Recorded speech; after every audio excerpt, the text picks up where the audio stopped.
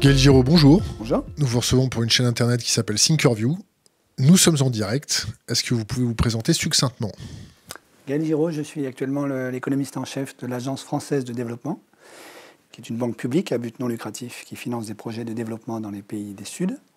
Je suis également directeur de recherche au CNRS en économie, euh, directeur de la chaire énergie et prospérité, prof à l'école des ponts, et jésuite, prêtre catholique romain catholique romain. Euh, lors d'une de vos conférences, vous parlez des images de l'Apocalypse, euh, tirées des évangiles, je pense. Euh, est-ce que vous pouvez nous décrire ça? Donc l'Apocalypse, c'est le dernier livre de la Bible, du Nouveau Testament. c'est un livre qui essaye de décrire de manière métaphorique, on pourrait dire même parabolique, quelque chose du sens de notre histoire ultime. Et elle a été longtemps interprétée euh, comme, euh, disons, euh, voilà, des métaphores qui décrivent quelque chose de l'ordre de la fin des temps. Et aujourd'hui, nous sommes dans un moment très particulier où la menace écologique est telle que certaines de ces images devraient être interprétées de manière littérale aujourd'hui. Il y a quoi dans ces images? Il y a l'effondrement d'une société marchande, donc la ville de Babylone, qui est, une espèce d'incarnation de la marchandisation du monde, la privatisation du monde, qui s'effondre. Les marchands qui disparaissent de la planète et qui sont identifiés comme étant l'une des causes du mal. Euh, et ça, aujourd'hui, je crois que c'est euh, tout à fait d'actualité. Donc il y, a des petits démons, des choses comme ça, des flammes. Euh, c'est confortable à vivre. Alors c'est un bestiaire extrêmement élaboré qu'il faudrait, enfin, que beaucoup de savants étudient, hein, ont étudié et continuent d'étudier. Vous avez un animal euh, très important qui est un dragon, qui essaye de manger la vie au moment où elle naît. Donc vous avez une image très forte d'une femme qui va accoucher, euh, alors qui est interprétée dans la tradition chrétienne comme étant Marie, qui va donner naissance euh, au Christ, au Messie, mais il y a un dragon qui est prêt à dévorer le Messie au moment où il va naître. Et c'est une manière de dire tout l'enjeu de notre existence, qui est est-ce que nous cédons à la pulsion du dragon et nous tuons la vie à l'endroit même où elle naît, ou est-ce que nous laissons la vulnérabilité de cet enfant advenir au monde euh, grâce à cette femme Revenons à nos moutons. On va essayer de faire les bergers aujourd'hui, non? Euh, euh, Le système financier va bien? Non, alors il va très très mal. Il va d'autant plus mal que un certain nombre de banques ont réussi à convaincre l'opinion publique qu'il allait bien, de sorte que la vigilance, me semble-t-il, hein, d'une partie de la société civile sur les banques s'est beaucoup relâchée. Le, symptôme euh, qui ne trompe pas, il y en a deux. Le premier, c'est l'accumulation de dettes privées. Alors, ça devient un vrai problème en France aujourd'hui. Hein. La dette privée en France, c'est 133% du PIB français aujourd'hui. Euh, c'est beaucoup plus que la dette publique. La dette publique, c'est un tout petit 100%. Euh, dans dette privée, vous avez à la fois la dette des ménages et la dette des entreprises non financières. Pourquoi est-ce que c'est problématique? Parce que ça signifie que vous avez des tas d'acteurs privés qui se sont endettés pour essayer de, alors pour les uns de survivre, là c'est le surendettement, la précarité, pour les autres d'investir euh, quand ils y arrivent. Et euh, ils sont piégés parce qu'ils doivent absolument rembourser et rembourser un peu plus que ce qu'ils ont emprunté via la mécanique du taux d'intérêt. Usure. Du taux d'usure, mais pour l'instant, je n'ai pas de jugement moral sur la question du taux d'usure, hein, du, taux d'intérêt. En tout cas, il y a une mécanique financière euh, très élémentaire qui est que euh, cette dette privée, quand elle est trop importante, euh, elle bloque l'investissement des entreprises. C'est-à-dire que les entreprises ne peuvent plus continuer à investir parce que l'essentiel du cash qu'elles retirent de leurs activités, il faut qu'elles l'utilisent pour rembourser leurs dettes. Et d'une. Et de deux, si elles n'ont pas assez d'activités florissantes, elles font faillite. Et en faisant faillite, euh, ou euh, en euh, repoussant, en négociant des, remises de dettes ou bien un délai supplémentaire pour rembourser leurs dettes, elles mettent en difficulté le secteur bancaire lui-même. Alors, dans un pays comme la France, ça ne veut pas dire que la France elle-même va être l'épicentre d'une nouvelle crise financière majeure, peut-être, mais enfin, ce n'est pas immédiat. en revanche, au niveau mondial, on a une telle accumulation de dettes privées que je vois mal comment aujourd'hui on pourrait ne pas avoir une nouvelle grande crise. Pourquoi? Parce que cette dette privée, euh, pour être remboursé, exige donc des revenus nouveaux qui permettent aux débiteurs de rembourser leurs créanciers.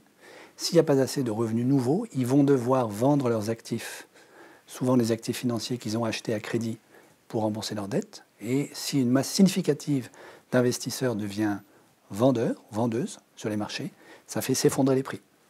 Si les prix des actifs financiers s'effondrent, alors beaucoup de ceux qui sont endettés et qui jusqu'à présent allaient bien vont eux-mêmes être en grande difficulté et ça va donner le crack.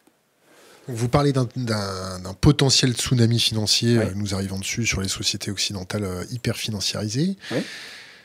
On va parler crûment Hein, euh, l'enfer qui nous attend, euh, ça va ressembler à quoi? S'il y a des, marchés qui s'effondrent, euh, les, fonds de pension, les, ceux censés payer la retraite des fonctionnaires, ceux censés assurer les allocations chômage, les allocations chômage, et on en passe des meilleurs, ça va, ça va se matérialiser comment, socialement parlant?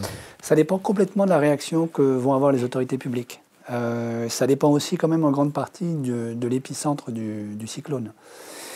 Si vous voulez, si c'est par exemple la dette des étudiants américains euh, qui est de plus de 1000 milliards de dollars aujourd'hui, euh, qui explose, ce ne sera pas la même chose que si c'est une grande banque publique chinoise.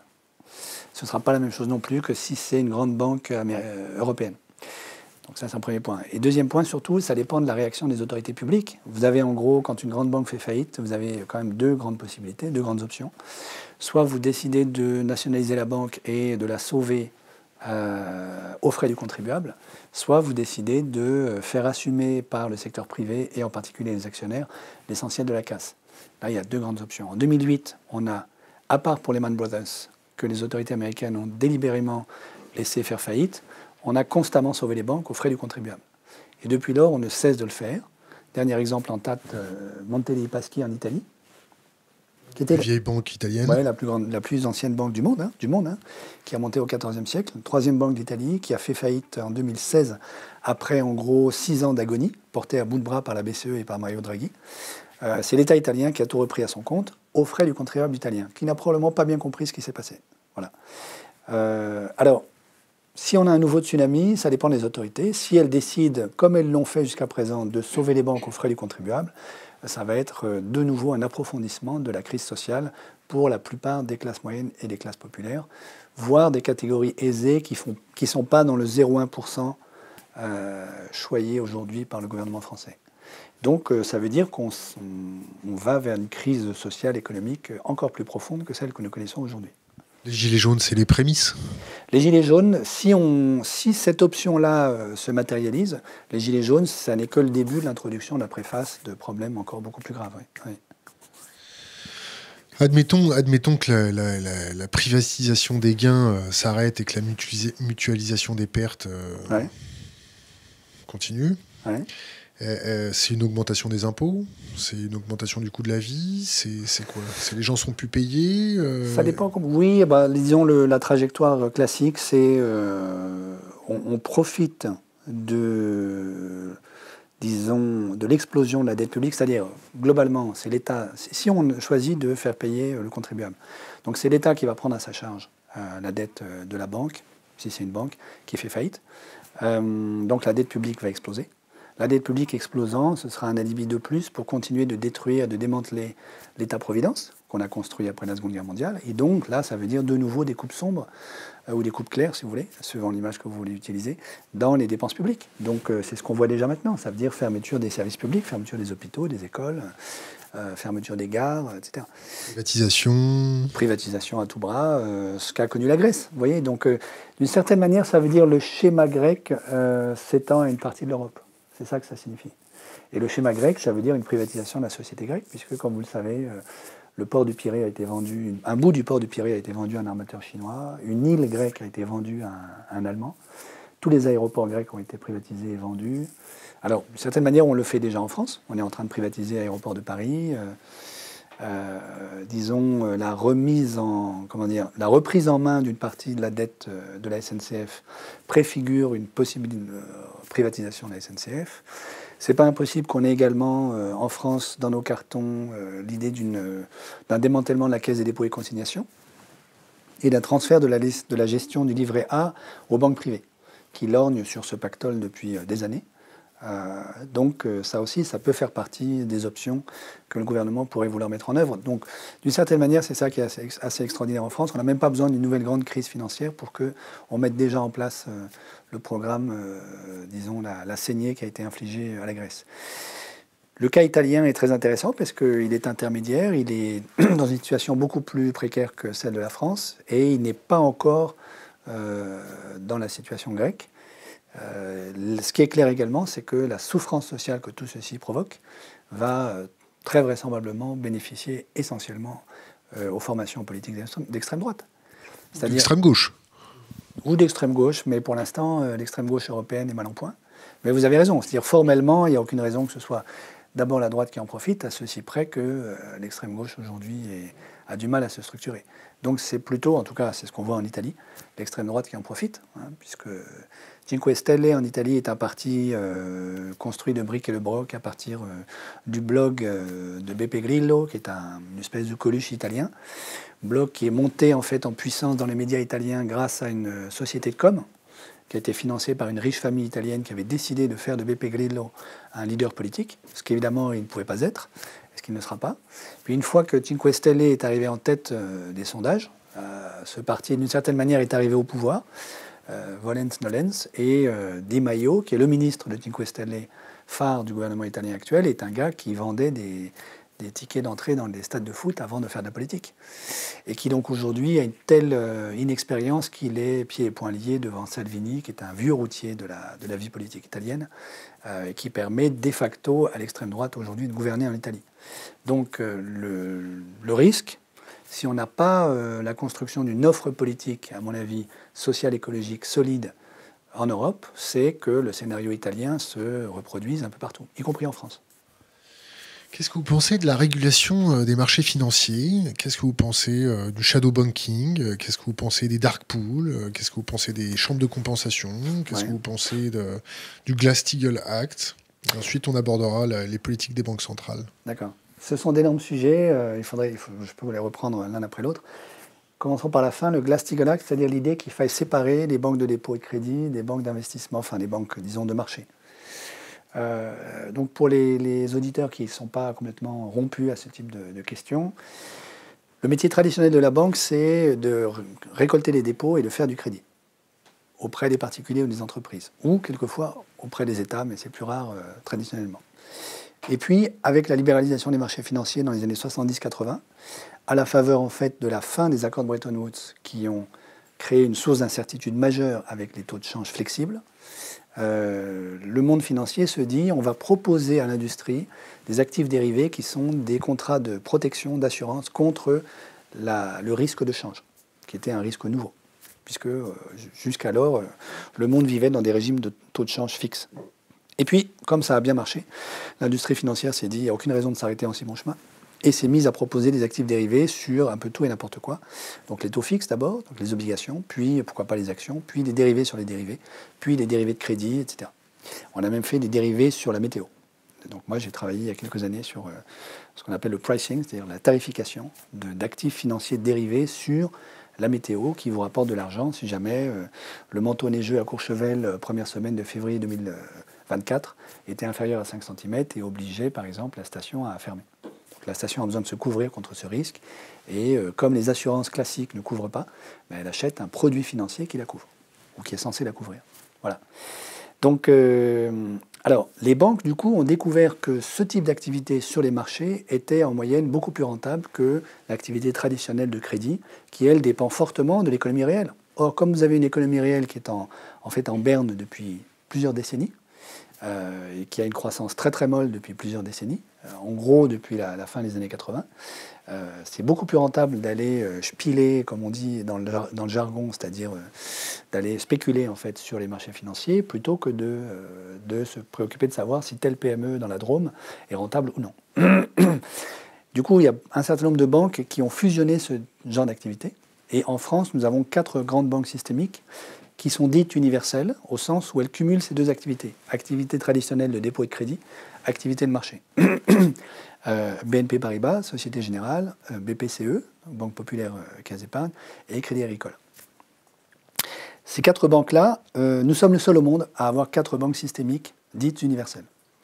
Elles font courir à l'économie française un risque majeur parce que le département spéculation sur les marchés financiers est complètement tributaire des risques colossaux que tout le monde court sur les marchés financiers. et se repayent, à chaque fois qu'ils font des pertes immenses, se repayent sur le département crédit dépôt.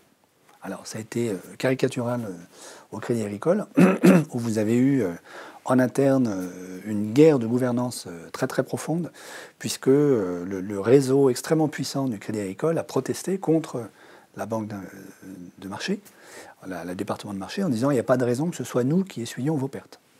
Il n'empêche que le Crédit Agricole a réussi à faire en 2012-2013 euh, plus de 6 milliards de pertes nettes, tout compris, ce qui veut dire que les pertes du département de spéculation financière étaient telles qu'il euh, restait encore 6 milliards après avoir été entièrement épongé, ou partiellement épongé en fait, par le département euh, dépôt et crédit. Alors, pourquoi est-ce que c'est très dangereux? Parce que ce genre de crise et de pertes colossales est inévitable, et à cause de toute une série de questions dans le détail desquelles je peux rentrer, et du coup, euh, ça met en danger les comptes de dépôt des déposants français. Or, à hauteur de 72 000 euros 100 000 euros, 100 000 euros par compte. Ouais, 100 000 euros par compte, d'après la loi. Or, si une grande banque du type BNP Paribas faisait faillite, alors il faut voir que le bilan de BNP, c'est quasiment la taille du PIB français. Hein. c'est de l'ordre de un peu moins de 2000 milliards d'euros. Donc si une grande banque faisait faillite, comme BNP Paribas, la France, l'État français, serait incapable d'honorer la loi de garantie publique des 100 000 euros par compte. Euh, et donc, les grandes banques, du type BNP et d'autres, ont un pouvoir de chantage colossal sur l'État, en disant, écoutez, euh, si vous prenez telle décision, euh, nous sommes très mal. Or, nos bilans sont très fragiles, contrairement à ce qu'ils racontent dans le public. donc, donc, nous allons mourir, mais si nous mourons, vous mourrez avec nous, parce que vous n'êtes pas capable d'honorer vos propres engagements. J'ouvre une parenthèse. Le, fonds de garantie des dépôts bancaires est provisionné à hauteur de Alors, il y a. Euh, en fait, il y a un fonds. Avec et sans, l'effet de levier. Hein. Non, non, non. Ouais, il y a un fonds européen qui est lié à ce qu'on appelle l'Union bancaire européenne, euh, qui est abondé par les banques elles-mêmes, qui est destiné à sauver les banques en cas de grosse faillite, dans lequel on devrait culminer en 2023 à 55 milliards. 55 milliards, c'est dérisoire par rapport à la taille du bilan d'une banque comme BNP, qui est en gros euh, un peu moins de 2000 milliards. Donc euh, on n'y est pas du tout. 55, c'est un verre d'eau tiède pour, éteindre les cendres après l'incendie. Euh, alors, ceci fait que... Alors, un exemple qui, qui, vous montre que c'est un problème extrêmement actuel au moment de l'effondrement du, du, système bancaire chypriote. Euh, il y a eu un commissaire européen qui a eu la très mauvaise idée de dire ah ben, peut-être qu'en fait, euh, plutôt que de perdre de l'argent public à euh, essayer d'honorer les comptes de dépôt chypriotes, on pourrait ne pas appliquer la loi et ne pas garantir les dépôts. Et puis 24 heures après, il s'est repris en disant non, non, en fait, je me suis trompé, c'est pas du tout ce que je voulais dire. parce qu'il a été averti par les banques elles-mêmes que si la Commission européenne commence à dire ça aujourd'hui, les citoyens européens vont comprendre que leurs comptes de dépôt ne sont pas garantis, ils vont retirer leur argent. Il va y avoir probablement un bank run, et un bank run, ça veut dire la, faillite immédiate de toute une série de banques. Parce que si vous retirez les, dépôts, enfin l'argent liquide qui est en dépôt dans les banques, elles n'ont plus, euh, disons, euh, en gros, une partie de la liquidité dont elles ont besoin pour faire leurs activités. Voilà. France, le fonds de garantie des dépôts, c'est combien J'ai pas de montant pour la France, donc je ne sais pas, il faudrait regarder. Euh, mais c'est sûr qu'il n'est pas du tout euh, à la hauteur de ce qu'il faut. Donc, donc, du coup, ça donne un, pouvoir de chantage des grandes banques universelles sur la puissance publique qui est colossal. C'est, disons, le chantage du noyé et du maître nageur. Le noyé disant au maître nageur euh, ne me laissez pas, enfin, ne m'empêchez pas de faire ce que je veux quand je nage, parce que si je me noie, vous allez mourir avec moi en venant me sauver. parce que vous savez que si vous voyez quelqu'un se noyer dans une rivière ou dans la mer, c'est le seul cas de non-assistance à personne en danger qui ne, soit, qui ne puisse pas vous être imputé, puisque celui qui va chercher le noyer peut mourir avec le noyer. Donc euh, cette métaphore vaut également pour l'État et le secteur bancaire aujourd'hui. Voilà.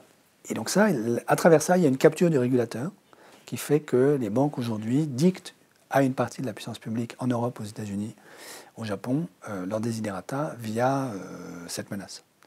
Donc pour en sortir, je ne vois pas tellement d'autres solutions que de mettre en œuvre une version ou une autre du Glass-Steagall Act, qui avait été euh, décidé par Roosevelt en 1933, c'est-à-dire de couper les départements dépôt et de crédit des banques traditionnels du département spéculation financière. Il se trouve que la loi Moscovici 2013 euh, prétend le faire. Euh, elle a été très très défendue par une députée socialiste d'alors, Karine Berger. Et c'est une loi, euh, on pourrait dire d'une certaine manière, euh, scélérate, puisqu'elle prétend couper et elle ne coupe pas. Elle ne sépare pas les banques. Donc euh, Frédéric Oudéa, qui est à ce moment-là le PDG de Société Générale, l'a reconnu devant l'Assemblée nationale. Il a dit, en fait, cette loi va nous obliger à filialiser, ce qui n'est pas coupé, 1,5% de nos activités de marché. Donc il a révélé à ce moment-là ce que savait le secteur bancaire, à savoir que cette loi prétendait couper sans couper. C'est une loi Canada Dry, si vous voulez. C'est du whisky, mais ce n'est pas du whisky. Euh, L'Allemagne a fait la même chose. Euh, et tout ça, c'était une manière d'anticiper les velléités de la classe politique qui, dans le sillage du discours euh, au Bourget du candidat François Hollande, mon ennemi c'est la finance, aurait pu avoir l'intention de couper vraiment. Alors finalement, il y a quand même un homme politique français qui a voulu, sinon couper, au moins mettre une cloison étanche, c'est Michel Barnier, commissaire européen à l'époque, qui a proposé une directive européenne permettant d'instaurer une cloison étanche entre les activités de spéculation, disons, des activités de marché et les activités traditionnelles de dépôt de crédit. Mais il a été malheureusement retoqué par le Parlement européen, très vraisemblablement sous influence, qui n'a pas compris du tout l'enjeu de la directive Barnier, qui à mon avis était excellente. Voilà. Donc ça, c'est un premier énorme sujet euh, sur lequel il faudra très certainement revenir. Dans le cas où on voudrait, où on avait l'intention sérieuse de prévenir les conséquences catastrophiques d'un nouveau crack financier, de mon point de vue, la première chose à faire, c'est de séparer les banques. Puis par ailleurs, ça libère la puissance publique qui sort en fait du piège euh, dans lequel elle est enfermée aujourd'hui. Alors après, vous avez, tu as mentionné toute une série de sujets euh, du type euh, régulation financière, shadow banking, dark pool, dark pool chambre de compensation. Alors, d'une manière globale, mon point de vue, c'est que euh, il y a un enjeu colossal qui est euh, la réécriture du cadre prudentiel d'activité bancaire, donc de ce qu'on appelle BAL 3. Euh, ce cadre, en fait, met un certain nombre de contraintes à l'activité centrale des banques, qui est de créer de la monnaie. Donc, premièrement, il faut rappeler à tout le monde qu'une banque, c'est une institution financière qui crée de la monnaie tous les jours, donc qui utilise une planche à billets euh, ce qui est une image, hein, puisque l'essentiel de la monnaie aujourd'hui, c'est des lignes de code sur des écrans d'ordinateur. Ce n'est pas euh, des billets de banque et des, pièces métalliques. Ce n'est pas de la monnaie fiduciaire. Euh, donc une banque crée de la monnaie. Si vous allez voir votre banquier demain matin et que vous lui demandez un crédit pour acheter votre appartement, au moins 80% de la monnaie qu'il va vous prêter, c'est de la monnaie qui n'existait pas deux minutes avant que vous entriez dans son bureau. Donc c'est de la monnaie qui est créée ex nihilo. Euh, et pourquoi? Parce qu'une banque, c'est précisément une institution financière qui a reçu du roi, en fait, de l'État, le pouvoir de créer de la monnaie. Ce qui est tout à fait, à mon avis, légitime. Jusque-là, j'ai aucune difficulté. Simplement, évidemment, elle ne peut pas créer de la monnaie ad libitum, elle ne peut pas créer une quantité infinie de monnaie, et elle ne peut pas créer de monnaie pour se sauver elle-même. Pour créer de la monnaie, il faut qu'elle ait un client externe qui lui demande un crédit. Alors, premièrement, donc, ça veut dire qu'il faut encadrer les conditions dans lesquelles elle peut créer de la monnaie en accordant du crédit. Euh, alors aujourd'hui, en fait, euh, disons depuis une trentaine d'années, on a corseté complètement la manière dont l'État, la puissance publique peut demander à sa banque centrale de créer de la monnaie pour lui. Et on a retiré en fait de la main des États le pouvoir de création monétaire, dont ils disposaient en fait grâce, par exemple en France, au circuit du Trésor entre le Trésor et la Banque de France, jusque en gros au milieu des années 70. Et puis avec le traité de Maastricht, on a rendu ça impossible. On a dit la Banque Centrale Européenne, qui sera la seule banque centrale de l'ensemble de la zone euro, euh, n'aura pas le droit de prêter directement sur le marché primaire aux États. Donc les États n'auront plus le droit de s'endetter à taux nul auprès de la Banque centrale. Ils devront impérativement s'endetter auprès des marchés financiers. Donc on a retiré de la puissance publique le pouvoir de création monétaire, avec toute une rhétorique de légitimation de l'indépendance de la Banque Centrale Européenne, qui n'a aucun fondement analytique. Je pourrais revenir là-dessus euh, tout à l'heure. Alors, les banques privées, elles, elles créent de la monnaie, pas à n'importe quelles conditions. Les conditions, en gros, pour aller très vite, c'est le, cadre prudentiel de Bâle 3, qui est donc fixé par un comité de Bâle, qui est dans cette charmante petite ville de Suisse. Pourquoi? Parce que c'est un comité qui est rattaché à la Banque des règlements internationaux, la BRI, qui est la banque centrale des banques centrales qui se trouve être située à Bâle. Euh, là-dedans, il y a deux enjeux, à mon avis, dans une réécriture de Bâle 3 le premier, c'est de renforcer considérablement les exigences de fonds propres. Donc une banque, à chaque fois qu'elle accorde un crédit, il faut qu'elle ait un matelas de fonds propres pour le cas où euh, elle ne serait pas remboursée, pour le cas où elle ferait des pertes. Donc ce, ces fonds propres, c'est la sécurité par rapport au risque qu'elle prend quand elle accorde un crédit, dans une activité traditionnelle, normale. Aujourd'hui, les exigences de fonds propres sont calculées à partir de ratios qui, à mon avis, ont été complètement trafiqués, parce que ces ratios mettent en regard, d'un côté, le volume des crédits accordés par la banque, et de l'autre, l'ensemble de ses fonds propres. Mais le volume des crédits, il est lui-même pondéré par la dangerosité, la riskiness en anglais, la, mesure du risque de ces crédits. Or, qui calcule la dangerosité de ces crédits? Les banques elles-mêmes, via des modèles suffisamment sophistiqués, avec euh, des bataillons d'ingénieurs euh, et de matheux dont j'ai fait partie, qui font ces calculs et qui font ces modèles, qui sont tels que, avec ça, vous pouvez euh, faire apparaître comme non risqués des crédits extrêmement risqués et diminuer énormément les exigences de fonds propres de la banque. Donc ces ratios-là, qui sont des usines à gaz, que les auditeurs comptables n'ont absolument pas les moyens et le temps d'aller inspecter et regarder jusqu'au bout, puisqu'ils n'ont pas le temps d'aller regarder les modèles de finances stochastiques qui sont utilisés par les ingénieurs pour les calculer. ces ratios-là, à mon avis, ne valent pas grand-chose. Le ratio pertinent, c'est un ratio très très simple que n'importe quel comptable est capable de calculer, qui est simplement le ratio volume des crédits accordés divisé par fonds propres purs, sans pondération, sans modèle, rien du tout. Et quand on regarde ce type de ratio, on constate que la plupart des banques de la zone euro aujourd'hui sont à 2-3%. Quelques-unes un peu au-dessus, mais en gros, elles tournent à 3%. Au début du 20e, elles étaient à 20%, 20-25%. Au 19e, elles étaient à 50%. Et à partir des années 80, ce ratio s'est effondré. Parce que, évidemment, euh, si vous devez immobiliser des fonds propres, vous faites moins d'affaires. Vous ne pouvez pas payer des bonus colossaux. Vous ne pouvez pas payer votre PDG un million d'euros par mois. Ce n'est pas possible. Si vous voulez faire ça, euh, il vous faut diminuer la contrainte des fonds propres. Donc, d'une certaine manière, le secteur bancaire, en complicité avec une partie des régulateurs, a fait en sorte que euh, le cadre prudentiel de Bâle III devienne lui-même une usine à gaz qui permette au fond de relâcher la contrainte. Mon point de vue, mais je ne suis pas du tout le seul, il y a plein d'économistes qui disent ça, c'est qu'il faut renforcer la contrainte pour sécuriser les banques. Le FMI lui-même dit que les banques sont sous-capitalisées. Jusqu'à combien faut-il monter Pardon, excuse-moi. à mon avis, il faut monter au moins jusqu'à 20%, vu la, dangerosité de la, situation aujourd'hui. pour résumer le trivialement, euh, on a un système financier qui est dirigé par une bande de mégalos qui sont sur la corde raide euh, à chaque seconde, euh, avec les fondements de la soutenabilité de notre société, pareil, sur la corde raide. la question, elle est très simple le too big to fail que tu as essayé de me décrire, euh, mhm. ce chantage de, on va mourir, tu vas mourir avec nous. Est-ce que c'est pas un chantage du genre euh, si les gens comprennent ce qu'on a fait, ce qu'on est en train de faire et ce qu'on veut faire, on perd notre tête. Les têtes vont rouler et les fourches vont s'aiguiser et on va se faire attraper. Alors, en fait, c'est ce qu'une partie du secteur bancaire a craint en 2008. Euh, disons, le cataclysme financier de 2008 qui a été colossal. Il y a quand même 25% de la capitalisation boursière du monde qui a disparu, euh, un quart, euh, fait que les financiers de l'époque, ceux avec qui je discutais, ont cru ça. Ils se sont dit, une fois que les gens vont avoir compris ce qu'on a fait, ils vont nous chercher avec des fourches. donc, j'ai des anciens collègues qui prenaient le métro en, vêtements, euh, disons, euh, communs, et qui ont enfilé leur costard euh, dans l'ascenseur de leur propre immeuble à la Défense, pour éviter d'être repérés comme un financier de, de, la Défense. Idem à la City, à Londres. Voilà, donc ils ont eu très peur. Puis, à partir de 2009, ils ont vu que la puissance publique, dans la plupart des pays, a géré admirablement à leur avantage la crise financière, et ils ont été rassérénés. Aujourd'hui, euh, je ne sais pas quel est leur état d'esprit par rapport à la... On n'a pas encore de nouvelles grandes crises financières, en tout cas pas apparemment.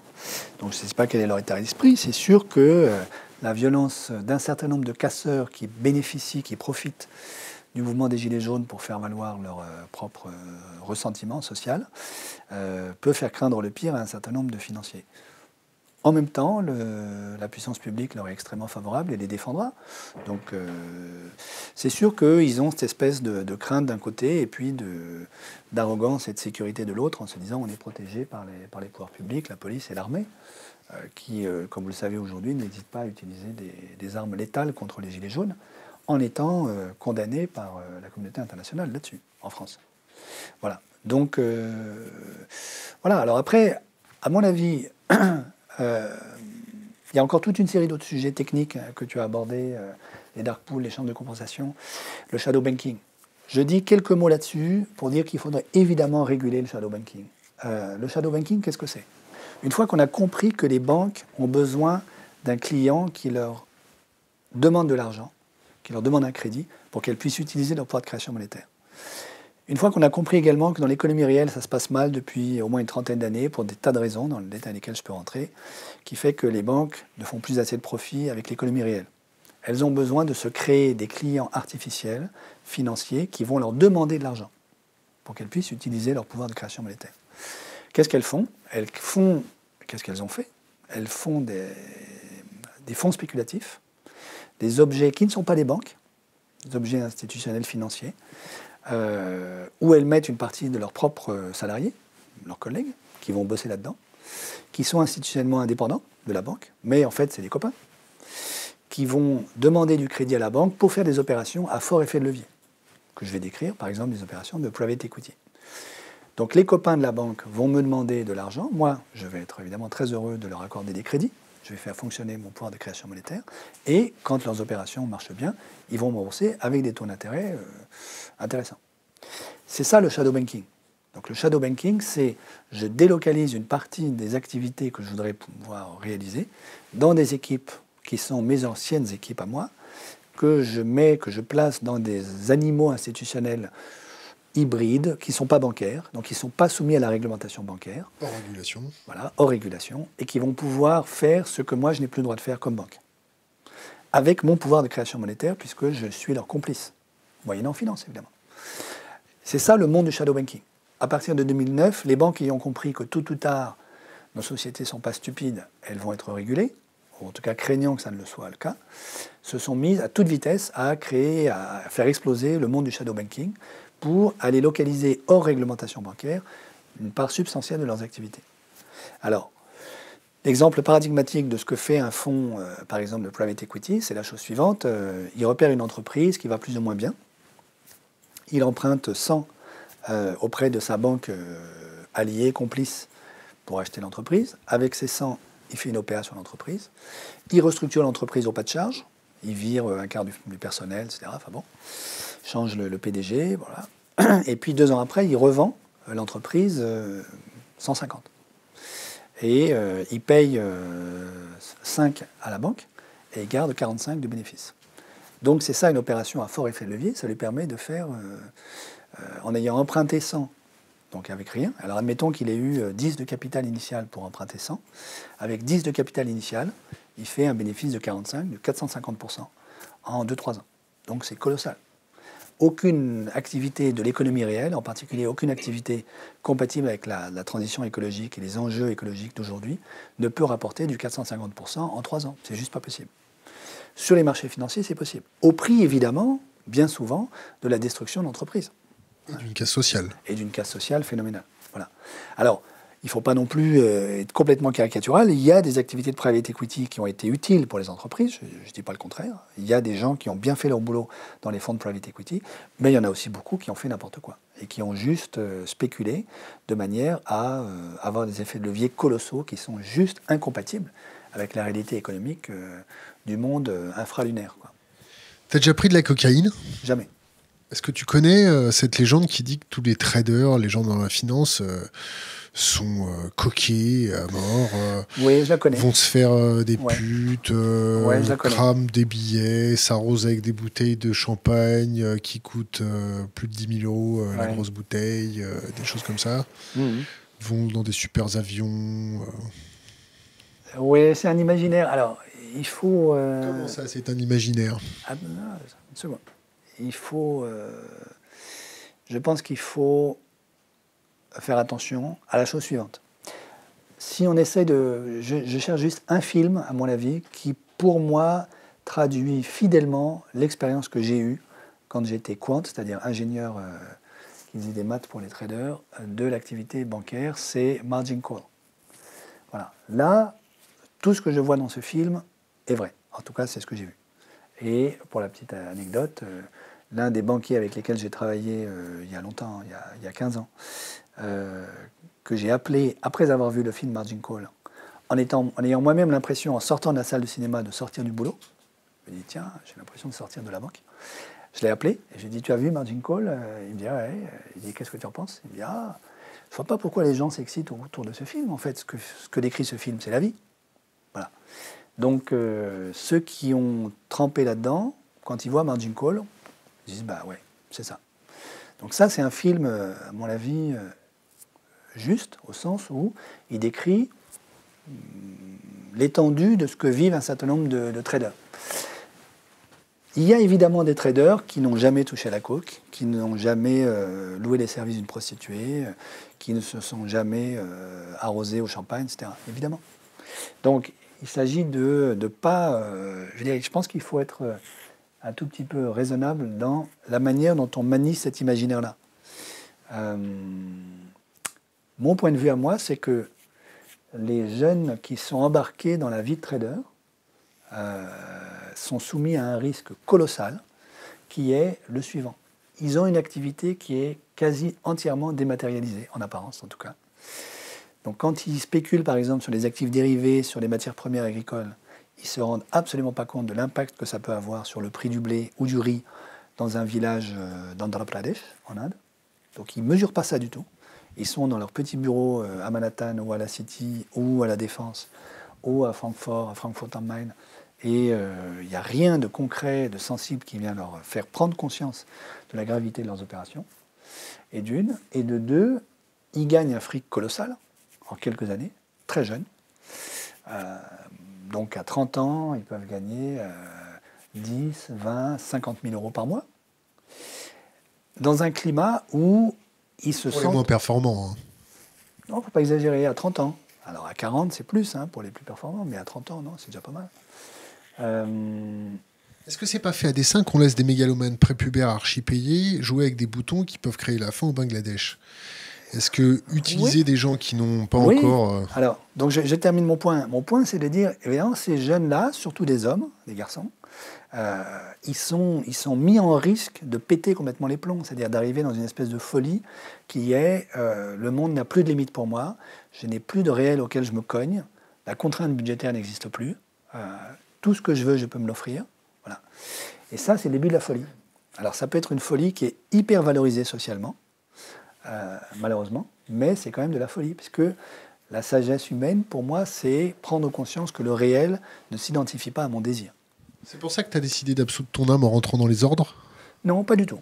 Non, ça n'a rien à voir, parce que euh, je voulais devenir jésuite avant même de travailler pour les banques. Euh, et j'ai été travailler pour les banques après la mort de mon papa, parce que j'avais besoin de sous, que les banques étaient prêtes à me faire travailler, à me payer en bien. Pourquoi bien payé J'étais payé comme consultant. En fait, alors comme consultant, j'étais très mal payé euh, pour un consultant qui fait des maths euh, de haut niveau. Mais par rapport à un fonctionnaire euh, chercheur au CNRS, j'étais très bien payé. Donc, ah bah, je peux dire, un fonctionnaire du CNRS de base, il gagne 1500 euros par mois. Et donc, il est autorisé à multiplier par deux son salaire. Voilà. Donc, on ne va pas chercher, ce n'est pas des sommes comme ça. L'Église, elle fait quoi pour la régulation financière? La Banque du Vatican, elle fait quoi Est-ce que l'ordre des jésuites a décidé de se pencher un petit peu sur la Banque du Vatican? Rappelons, rappelons ce qu'est un, jésuite. Est-ce que tu as fait vœu, de pauvreté? Oui. Alors un jésuite, c'est un religieux qui a fait... Un moine guerrier? Ça, c'est un imaginaire qui me semble faux, franchement, pour différentes raisons. Donc, un jésuite, c'est un religieux qui a fait trois vœux. Pauvreté, chasteté, obéissance, euh, qui sont les trois vœux classiques de la vie religieuse chrétienne, catholique. Euh, c'est pas un moine au sens où les moines sont des religieux qui ont fait vœu de stabilité dans un lieu, dans un couvent en général, un monastère. Euh, donc ça, par exemple, c'est les bénédictins, les cisterciens, les carmes. Euh, les jésuites n'ont pas fait vœu de stabilité. En fait, dans la vie religieuse, il y a trois grandes étapes, la vie religieuse occidentale, chrétienne. Il y a l'étape des moines, en gros, du 6e à aujourd'hui, évidemment, ils sont pas, il y a toujours des moines. Puis, à partir du XIIIe siècle, ce qu'on appelle les ordres mendiants, donc les franciscains et les dominicains, qui, eux, ont des couvents, mais sortent du couvent et font le, va-et-vient entre le monde de la campagne, le monde féodal de la campagne, qui est celui du monastère, et la ville. Et puis, au XVIe siècle, on a les jésuites, qui, eux, vont dans la ville, euh, le monde féodal a disparu ou est en, voie d'extinction et travaille dans la ville. qui n'ont pas d'habit monastique, nous n'avons pas d'habit, qui ne sont pas soumis à ce qu'on appelle la prière du cœur, c'est-à-dire les cinq, au moins cinq prières classiques auxquelles les moines sont soumis, les laudes, les matines, les vêpres, sixtes, nonnes, etc. mais qui ont une mission d'évangélisation à l'extérieur, dans le monde. Donc, ne sont pas des moines en ce sens technique. les, jésuites n'ont pas vœu de stabilité, au contraire, ils ont un vœu de euh, mobilité pour être disponibles dans la mission. Et euh, en revanche, ils prononcent leurs trois vœux comme euh, tous les religieux. Voilà. C'est ça un jésuite. Alors, après, pour revenir à la question financière dans l'Église et la Banque du Vatican. La Banque du Vatican a servi pendant des années, malheureusement, de plaque tournante de blanchiment de l'argent sale de la mafia italienne. Euh, et le pape François aujourd'hui est en train de mettre de l'ordre là-dedans, de manière euh, extrêmement euh, pugnace. Évidemment, il y a des résistances, mais je crois que c'est quelque chose d'extrêmement sain que l'Église aujourd'hui fasse le ménage dans ses propres institutions financières. L'Église s'est prononcée de manière extrêmement forte et précise en faveur de la régulation financière. Donc il y a eu en octobre 2011 une déclaration du ce qu'on appelle le Conseil pontifical Justice et Paix, Justitia et Pax en latin, euh, qui a, euh, à l'initiative du cardinal Peter Turkson, qui a publié un texte euh, remarquable dans lequel il est dit de manière très forte l'Église catholique recommande la séparation bancaire, séparation entre banques de dépôt et de crédit, ce dont on parlait tout à l'heure, et les banques de marché, les taxes Tobin, donc la mise en place de taxes sur les transactions internationales d'abord, et puis pourquoi pas sur l'ensemble des transactions financières. Et la fin, euh, on est en 2011, octobre 2011, la fin de la recapitalisation bancaire sans condition.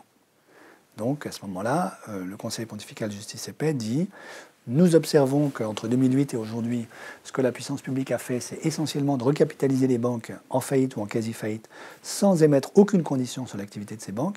Ça, il faut arrêter parce que c'est juste euh, ce que tu disais tout à l'heure, c'est-à-dire euh, on privatise les gains et on mutualise les pertes sans aucune contrepartie du côté de l'activité bancaire. Voilà. Le pape François a pris des positions extrêmement fortes en faveur de la régulation financière et de la sortie d'une espèce d'idolâtrie du monde financier. je l'ai fait moi-même, par exemple, avant que le pape François ne soit élu en 2012 lors d'une conférence de Carême à Notre-Dame que j'ai donné avec euh, Jean-Pierre Jouillet, à l'époque, qui était le directeur général de la Caisse des dépôts, qui ensuite est devenu le secrétaire général euh, de l'Élysée de François Hollande. Euh, voilà. Et donc moi, j'ai pris position très fortement en disant les marchés financiers sont le veau d'or d'aujourd'hui. il faut sortir de ça et les réguler, les réguler sans état d'âme. Parce que l'utilité sociale des marchés financiers aujourd'hui n'est pas démontrée. Voilà. Donc je crois que la position euh, du magistère ecclésial chrétien, catholique, est très claire. Euh, la finance, ça se régule. Et euh, nous avons un risque majeur d'idolâtrie aujourd'hui des marchés financiers dont il faut sortir. Bon, parlons un peu d'écologie. On reviendra sur la finance un peu plus tard. On a un copain qui est fondateur du programme spatial français qui s'appelle Jacques Blamont, qui a écrit un bouquin qui s'appelle Introduction au siècle des menaces qui a été rencontrer le cardinal Noir pour lui dire voilà, euh, je suis biographe officiel de. Bon, il n'a pas présenté comme ça, mais je suis biographe officiel de, de, Galilée. Euh, euh, j'ai un problème. La consommation de viande nous emmène un peu ça va nous créer des problèmes. les nappes phréatiques se cassent la gueule, la pollution, tout ça, bon, résumé trivialement il leur dit voilà, vous êtes depuis 2000 ans euh, les meilleurs au niveau de la propagande. Bon, vous avez cramé euh, deux, trois scientifiques, mais c'est pas grave. Euh, est-ce que vous pouvez pas faire quelque chose pour que vos fidèles fassent, prennent des dispositions pour moins consommer de viande, mhm. respectent le, climat, ainsi de suite? Ça n'a pas donné grand-chose. L'Église, elle en est où là, avec le réchauffement climatique? Elle va attendre que euh, Jésus revienne, euh, qu'il nous sauve, euh, qu'il multiplie les petits poissons, qu'il ouvre les océans. notre ami imaginaire à tous, il est où? Alors, l'Église, en fait, de mon point de vue, l'Église catholique, il y a d'autres églises que l'Église catholique, a pris une position extrêmement forte en juillet 2015 avec la publication de l'encyclique Laudato Si. Aucune institution n'avait publié un tel texte. Et j'ai plein d'amis écolos, euh, d'extrême gauche, ou non, mais aussi d'extrême gauche, qui ont pleuré en lisant ce texte, en disant Nous, ça fait 40 ans qu'on se bagarre, et on n'a jamais été capable de produire un tel texte. Je pense que ce texte-là a propulsé l'Église catholique, qui s'y attendait pas, euh, de la position qui était la sienne, qui était plutôt sur le bord de la route par rapport à l'histoire de l'humanité et de nos sociétés, dans la locomotive. Au sens où elle a dit euh, un certain nombre de messages très très forts. La question écologique est devenue la question primordiale aujourd'hui, pour nous. Euh, Laudato aussi est très clair là-dessus.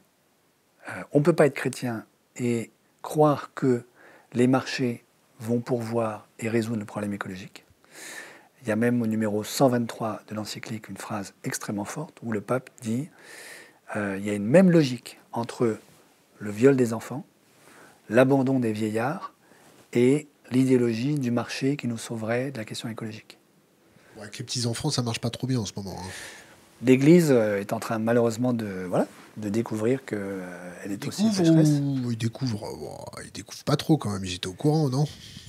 Moi, le meilleur service de renseignement du monde, c'est quoi euh, On peut en discuter. Moi, j'étais pas au courant. Euh, il y a deux choses. Hein. À mon avis, il faut pas. Je veux dire, il faut, il faut vraiment apprendre à distinguer, je crois. Euh, c'est le cas de le dire. Oui. L'Église aujourd'hui est prise dans des scandales absolument monstrueux que je ne peux évidemment que condamner et désavouer. Et il faut que la justice passe, se fasse. avec la plus extrême sévérité, euh, parce que c'est la crédibilité de l'Église qui est en jeu. Voilà. Donc, Barbarin, Barbarin, une petite tape sur l'épaule, c'est pas grave? Barbarin C'est Barbarin qui a été reçu par le pape parce qu'il voulait donner sa démission, et puis en fait, non, le pape a dit non. Alors le pape, euh, en fait, l'a mise à pied, mais n'a pas reçu sa démission tant que la procédure judiciaire n'est pas complètement terminée. Puisque euh, Monseigneur Barbarin a fait appel de, de sa condamnation. Voilà. enfin, il est mis à pied. Euh, et par ailleurs, comme vous le savez, euh, le numéro 3 du Vatican, lui, a été entièrement démissionné, réduit à ce qu'on appelle réduit Excommunié Non, pas excommunié, euh, exclu de l'ordre des prêtres, donc dans le, dans le, jargon canonique, réduit à l'état laïque. Donc il n'est plus prêtre, si vous voulez. On n'a jamais eu une telle sanction dans l'Église, c'est la première fois. Donc je crois qu'il faut mettre ça au crédit du pape François. Je ne crois pas du tout qu'on puisse accuser François d'être une espèce de complice, euh, même par ignorance, euh, des affaires de pédophilie. Au contraire, il essaie d'instruire euh, ce dossier, je crois, avec beaucoup de courage et, et le plus de transparence possible. Voilà. ça, c'est un aspect fondamental. Je ne suis pas du tout en train de nier la réalité la gravité de cette question. et ce que je vais dire là n'est pas une manière d'excuser l'Église. Mais je pense que nous tous, ici, là, on est conscients du fait que, évidemment, ce n'est pas un problème purement ecclésial, malheureusement. C'est la maladie du pouvoir C'est la maladie du pouvoir, on pourrait dire, oui, tout à fait. Ce que j'observe dans les milieux non ecclésiaux, proches de l'État et euh, de la haute fonction publique, c'est euh, malheureusement très très proche. C'est très très proche. Il y a un sentiment de toute puissance qui, euh, d'une certaine manière, se traduit dans une sexualité complètement désordonnée. Je disais l'autre jour, il n'y a pas très longtemps, c'est amusant, euh, des travaux qui ont été faits par les éthologues sur euh, les chimpanzés et la manière dont, dans une tribu de chimpanzés, on devient le chef. Le chef, c'est celui qui est capable de euh, faire l'amour avec les, les guenons les plus charmantes du groupe. Donc c'est celui qui est capable de séduire les guenons et de se reproduire avec elles. C'est lui qui devient le chef. Donc l'enjeu de l'autorité légitime de la, du pouvoir, de la violence et de la puissance chez les chimpanzés, c'est la capacité à être choisi par les jolies filles. Vous êtes en train de nous dire que euh, si les femmes nous choisissaient les meilleurs d'entre nous, le monde irait mieux, c'est ça? Non, je suis en train de dire certain, que d'une certaine manière, euh, l'homme est un animal métaphysique, mais aussi un animal, et dans la manière dont il se socialise et dont il organise son pouvoir, il n'est pas impossible qu'il y ait du chimpanzé en nous. Et beaucoup d'hommes, quand ils ont le pouvoir, se disent ce qui me légitime, c'est euh, que je suis capable de me reproduire avec beaucoup de femmes, très jolies si c'est possible, enfin peu importe. Mais voilà. il y a quelque chose dans le, lien sexualité-pouvoir qui est très puissant. Sexualité, pouvoir, argent, je dis rien de très, de très nouveau là-dedans. Voilà. Donc, tout ça pour dire que je pense que toutes les grandes administrations, toutes les grandes bureaucraties sont soumises au même problème que l'Église. Ce qui ne veut pas dire qu'il ne faut pas euh, que justice se fasse dans l'Église. Mais voilà, l'Église n'est pas la seule grande bureaucratie qui est soumise à ce problème. Et par ailleurs, vous savez aussi que euh, la question de l'inceste dans la famille est un sujet euh, monstrueux et monumental. Voilà. Donc c'est voilà, malheureusement, ce n'est pas propre au clergé. Alors, ceci étant dit, je reviens à la, question initiale, qui était quoi d'ailleurs? On vous a perturbé, non? La Banque du Vatican Non, j'ai répondu sur la Banque du Vatican. Non, Mais lui, il ne pose pas les questions, il s'occupe juste de son clavier. Ah d'accord, très bien. Eh, eh, sur, sur la capacité de la, du Vatican à, dire à ses, à ses, fidèles... Ah oui, sur l'écologie, sur pardon, tout à fait, oui. Euh, vous avez beaucoup d'initiatives qui sont prises sur le terrain, euh, par des chrétiens, avec des non-chrétiens. C'est un sujet transversal qui concerne tout le monde. Donc moi, ce que j'observe, c'est qu'il y a énormément de, communautés locales qui se créent pour essayer d'inventer un style de vie écologique.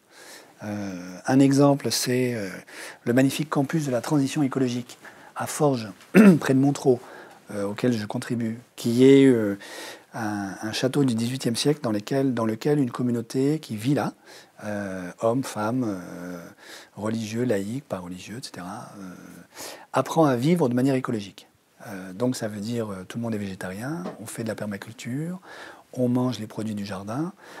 Et l'idée, c'est que ça devienne un centre de formation, d'apprentissage, où on apprend et on vit ce qu'on apprend.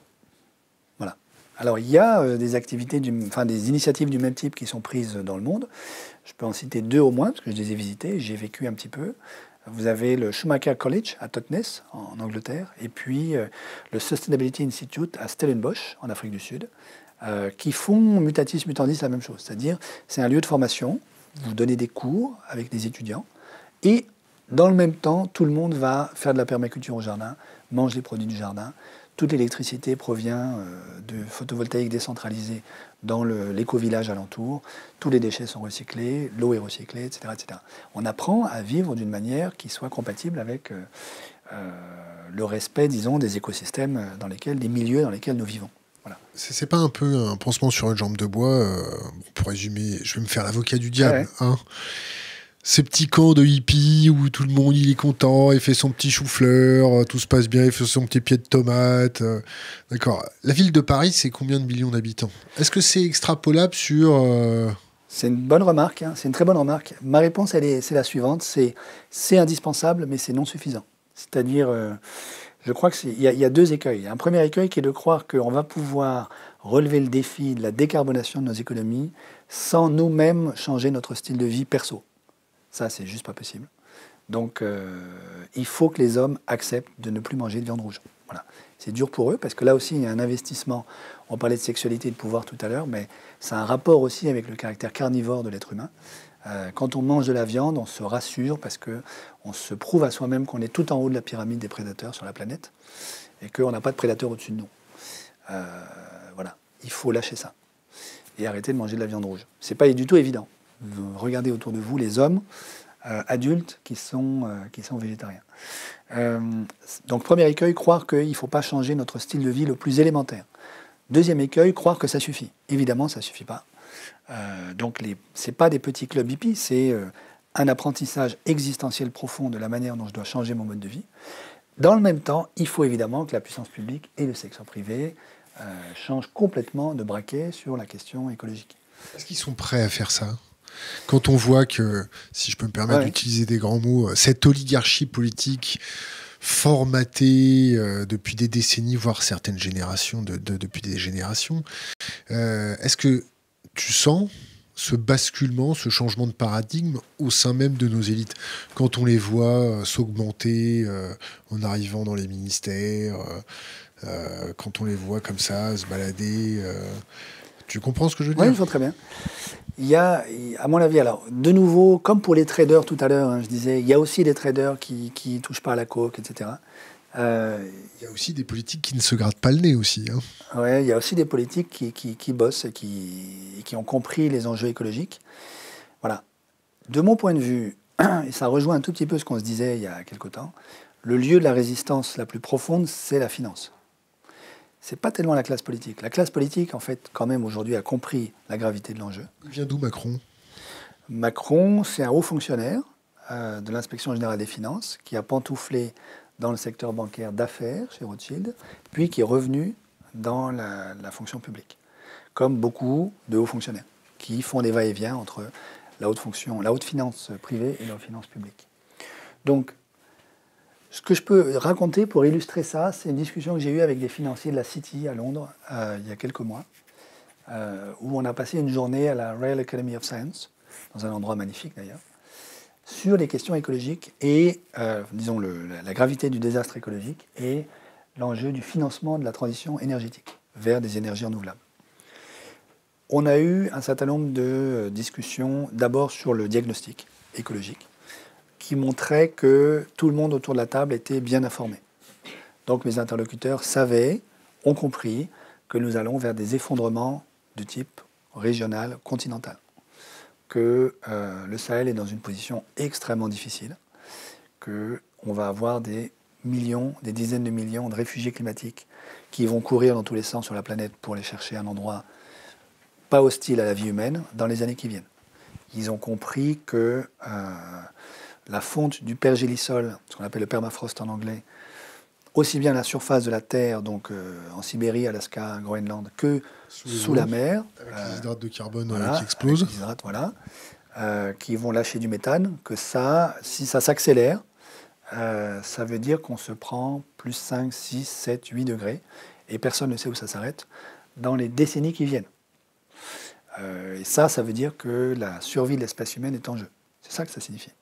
Alors aujourd'hui, on n'a pas d'évidence empirique qui montre que euh, on en est déjà là, mais on n'a pas d'évidence empirique qui montre le contraire. Donc euh, il y a un débat euh, extrêmement intense et angoissé à l'intérieur de la communauté scientifique sur la mesure des émissions de méthane à la surface de l'océan Arctique. Voilà. En fait, on manque de mesures. On manque de mesures sur, sur ça Mais pourtant, j'ai des copains qui bossent chez Total au niveau de la prospection et qui me disent voilà, quand les hydrates de carbone ils pètent sous l'eau, euh, il y a les gouvernements qui s'excitent parce qu'ils ont l'impression qu'il y a des tests de bombes nucléaires, euh, ils savent pas d'où ça vient et ils ont compris depuis un certain nombre de décennies que ça. Oui, ouais, mais malgré tout, non, non, les derniers travaux, y compris ceux qui sont publiés en 2018, l'an dernier, euh, montrent qu'en fait on a un gap entre les, les instruments de mesure qu'on a posés sur Terre et la mesure de la densité en méthane de l'atmosphère à, mi-altitude. Pourquoi? Parce qu'on ne sait pas mesurer ce qui sort vraiment de l'océan.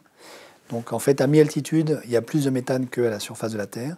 Et le, différentiel entre les deux pourrait être dû à ce qui, vient de l'océan. Mais aujourd'hui, ce n'est pas démontré. Voilà. Donc il y a un débat là-dessus. Mais la réalité de ce débat traduit quand même le fait que nous sommes aujourd'hui dans une situation extrêmement dangereuse. tes copains de la City, ils ont fini comment? Ils sont un peu bourrés euh, Ils se sont dit, voilà les gars... Une fois qu'on a dit tout ça, on a dit, bon, euh, qu'est-ce qu'on fait? Et en gros, le message de ceux qui étaient là, donc qui ne sont pas forcément représentatifs de la totalité de la City, mais en tout cas d'un certain nombre de financiers qui ont du pouvoir, ça a été on ne fera rien, nous les Européens. Pourquoi?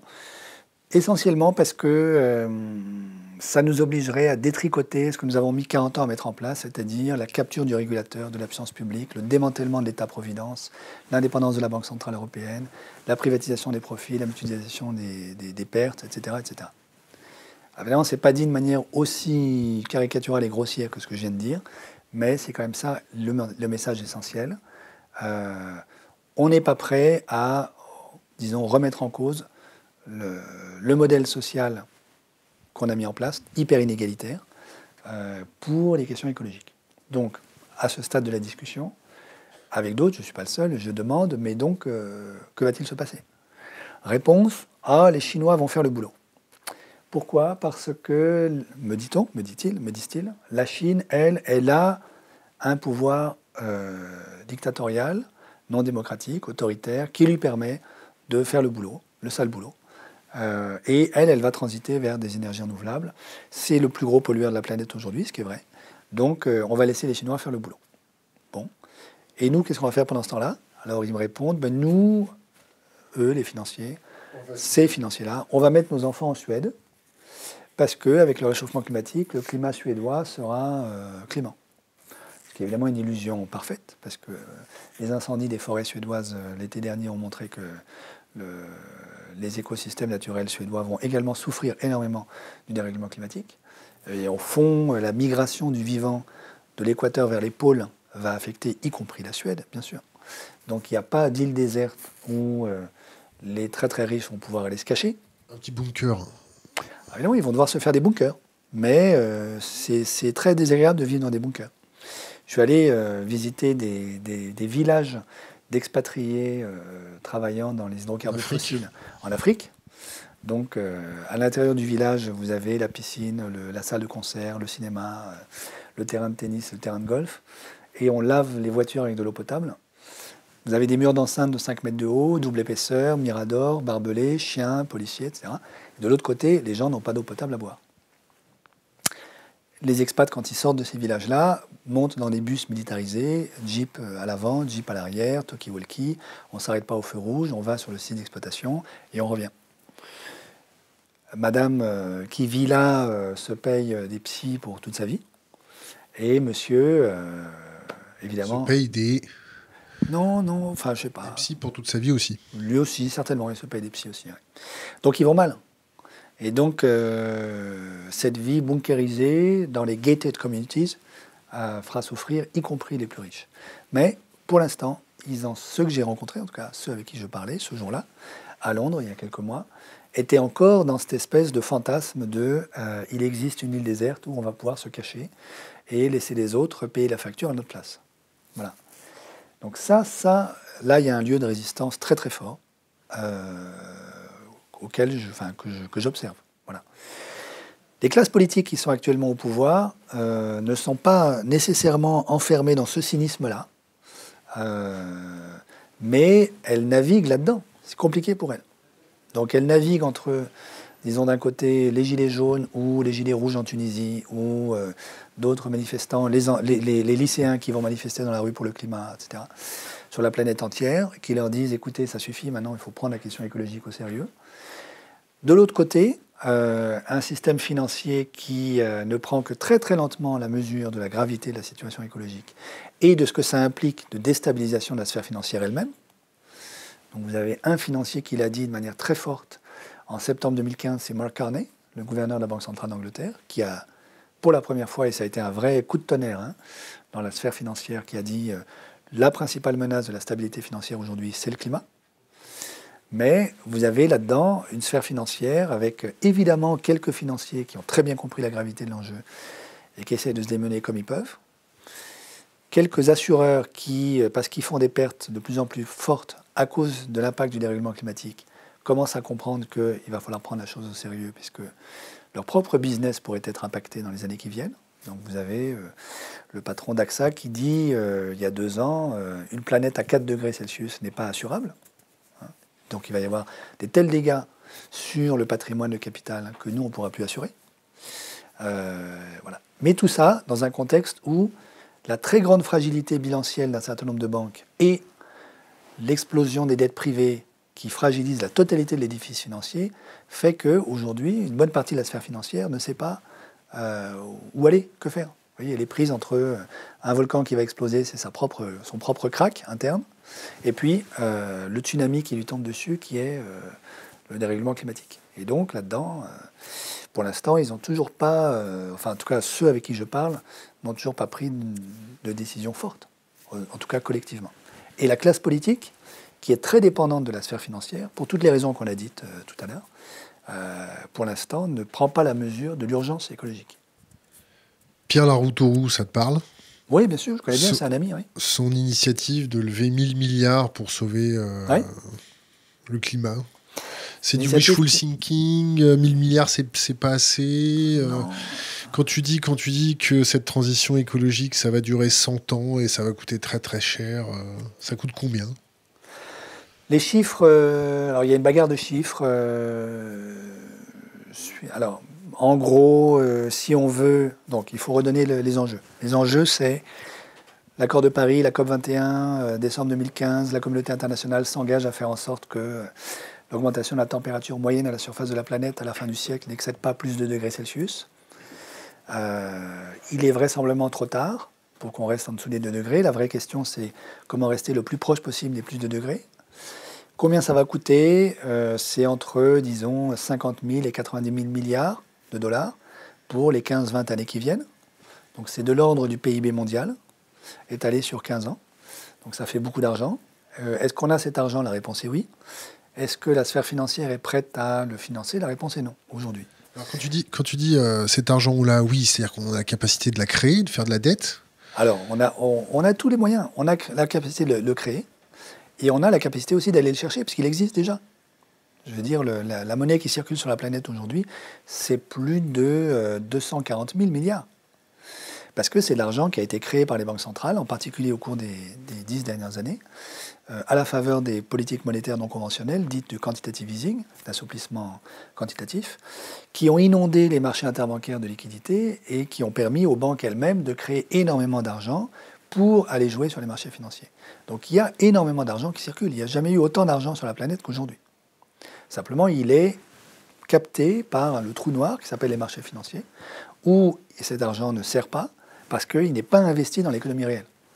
On a plus de 90% aujourd'hui des transactions financières sur les marchés financiers qui sont des transactions entre financiers qui ne concernent pas l'économie réelle. Voilà. donc, on peut aller chercher cet argent, ce capital qui existe déjà. Comment? En faisant la régulation financière et en médiocrisant, si je puis dire, le rendement des opérations purement spéculatives. Une fois que ça ne rapportera plus rien, bah, cet argent-là va revenir vers l'économie réelle. Ça, c'est évident. Je ne dis pas que c'est facile, je ne dis pas qu'on peut le faire en deux jours, mais disons, dans les grands principes, ça, c'est une option. Deuxième option, utiliser le pouvoir de création monétaire qui est à notre disposition, que nous avons. Et vu la gravité des enjeux, si on se dit que ce qui est en jeu, c'est ne pas arriver dans une situation où la survie de l'espèce humaine serait elle-même menacée, euh, je crois que ça vaut la peine de se poser la question de savoir si la, création monétaire ne peut pas être un outil utile pour financer à la fois la transition et l'adaptation au dérèglement climatique déjà, déjà embarqués. Alors c'est là que les propositions du type euh, La Route Rouge, Jean Jouzel euh, deviennent intéressantes. En fait, avec un ami qui s'appelle Alain Grandjean, il y a 7-8 ans, on avait déjà fait cette proposition qui consistait à dire, écoutez, la Banque Centrale Européenne crée aujourd'hui des milliers de milliards pour les banques, pourquoi ne créerait-elle pas de l'argent pour financer euh, des investissements verts? Bon. Et euh, j'ai moi-même fait une proposition au, comité des experts pour le débat national sur la transition écologique, qui avait été initié par Delphine Bateau, à l'époque, la ministre, euh, qui était la suivante. Ce qu'on a fait avec la Société de financement de l'économie française, la SFEF, que je vais décrire dans un instant, pour sauver les banques en 2008, on pourrait le faire pour sauver la planète. Qu'est-ce qu'on a fait en 2008 En 2008, on a créé la SFEF en quelques jours. La SFEF, c'est une société de droit privé abondée par les banques qui avait la garantie publique. Qu'est-ce qu'elle a fait avec le capital des banques? Elle a emprunté sur les marchés financiers au taux de la dette publique française, donc quasi nul, euh, de l'argent qu'elle a reprêté aux banques. À un moment où les banques étaient tétanisées par la... On est à ce moment-là en novembre 2008 tétanisés par la faillite de Lehman Brothers, se disent je ne peux plus prêter à ma voisine parce que peut-être que ma voisine va faire faillite demain matin. Donc, on plaçait dans une espèce de coma total euh, le marché interbancaire, de sorte qu'il n'y avait plus aucune transaction interbancaire possible. Pour éviter le collapse généralisé, et en particulier la faillite de nos quatre champions nationaux, qui sans ça n'auraient pas traversé, n'auraient pas survécu à la Saint-Sylvestre 2008, l'État, à ce moment-là, construit en quelques nuits la SFEF, Société de droit privé qui empruntent sur les marchés avec la garantie publique, donc au taux d'intérêt de la dette française, donc quasi nul. Ils prêtent en un an plus de 70 milliards aux banques pour qu'elles puissent passer la Saint-Sylvestre. Euh, ceci n'a pas été enregistré dans la dette publique, parce que c'était une société de droit privé. Et donc vous voyez l'astuce, tu vois l'astuce, c'est tu fais un truc, un objet qui est du droit privé, donc c'est de la dette privée, mais tu mets la garantie publique, et donc les investisseurs qui prêtent à cet objet-là savent bien que derrière il y a l'État. Donc ils prêtent en exigeant le taux d'intérêt de l'État. Taux d'intérêt qui, pour la dette publique française aujourd'hui, est toujours nul, quasi nul, euh, voire à certains moments a été négatif. Pas du tout à cause des vertus des finances publiques françaises, puisqu'on n'est pas, on est dans la moyenne de la zone euro à 100% du PIB, donc on n'est pas plus ni moins vertueux que les autres, mais parce que les investisseurs internationaux ont besoin de diversifier leur portefeuille. Donc ils ont besoin de pouvoir mettre leur argent ou de prêter euh, à de la dette publique en euros. Pourquoi? Parce qu'ils ont besoin de ne pas mettre toutes leurs billes dans la dette privée, donc il leur faut un peu de dette publique, et ils ont besoin de ne pas mettre toutes leurs billes dans le dollar ou euh, le yen, donc il leur faut de l'euro. Et donc quand on croise ces différents euh, il faut de la dette publique en euros. Or, de la dette publique en euros, il n'y a pas beaucoup de pays qui en émettent aujourd'hui, et la France est le principal d'entre eux. Les investisseurs, à certains moments, sont même prêts à payer la France pour que la France leur emprunte en euros. Ceci étant dit, aujourd'hui, on pourrait très bien faire la même chose. On pourrait créer une société de financement de la transition écologique, société de droit privé, qui emprunterait sur les marchés avec la garantie publique. Ce serait de la dette privée, ça n'affecte pas la dette publique, et ça permettrait de financer les investissements verts. Premièrement. Deuxièmement, ce qu'on pourrait très bien faire aussi, c'est négocier avec la Commission européenne la sortie du calcul du déficit public des investissements verts nécessaires à la survie de l'humanité. Est-ce que c'est compatible avec les traités? Donc, concrètement, ça voudrait dire on ne compte pas dans le 3% de Maastricht les dépenses publiques liées aux investissements verts. Est-ce que c'est compatible avec les traités européens? Réponse oui. Parce qu'en fait, les traités européens autorisent la Commission européenne à interpréter la base, le périmètre sur lequel on calcule le déficit public d'un État. Jusqu'à présent, la Commission européenne a toujours interprété le calcul du déficit public en un sens maximaliste, qu'on met tout, mais rien ne l'empêche demain matin de dire, bon, tout bien réfléchi, on n'est pas idiot, donc on sait très bien que les investissements verts, il faut les faire, que c'est un investissement utile pour l'humanité, donc ça, on le sort du calcul.